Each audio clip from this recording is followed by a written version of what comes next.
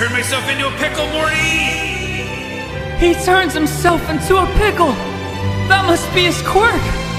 He's called Pickle Rick. Funniest shit I've ever!